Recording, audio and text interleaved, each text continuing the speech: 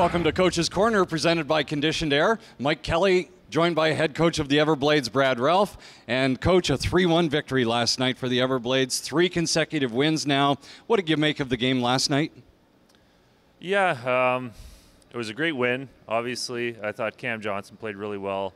Um, a lot of penalty kill. I thought our penalty kill wasn't really on point with the way we want to execute. Um, and, and, that was kind of the game. I, I, thought mentally maybe we weren't as sharp as we needed to be. Our execution wasn't what it could be, um, considering we are very familiar with Jacksonville. So um, to be able to win those types of hockey games, it's a, it's a real bonus because m- most often than not, you're not going to win them. So um, we won, big home win, and a lot that I think we can improve on you talked about Cam Johnson. Dating back to last year's Kelly Cup playoffs, he has backstopped the Everblades to six straight wins against Jacksonville. He's really dialed in against the Icemen. Yeah, yeah. You know, I think there's a little bit of a rivalry there with um, with Cam and Parker, and, and in a healthy way.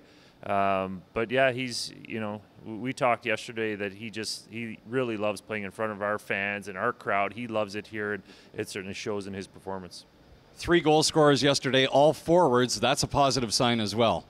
It is. It is. I, you know, I think we have a lot of really good hockey players. Um, it seems like we haven't found a lot of chemistry or um, maybe our style of scoring goals. It's uh, right now it's a lot off the rush, and we really haven't connected off the rush yet. So. Um, you know, I think Bobo Carpenter is he's just an extremely hard worker that's really professional and he's got a heck of a shot as we saw last night. And it was great to see Cam Morrison score. He's a, a big body, skates extremely well.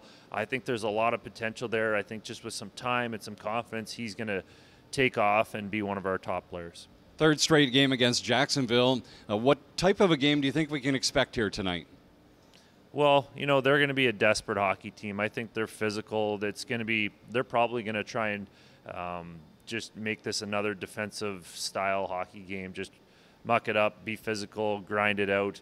Um, and for us, I just think we need to execute. We need, need to execute the game plan and build confidence and consistency from that. Looking forward to it. Thanks, Coach. Thank you. You're welcome. That's the head coach of the Florida Everblades, Brad Ralph, and the opening face-off straight ahead here at Hertz Arena.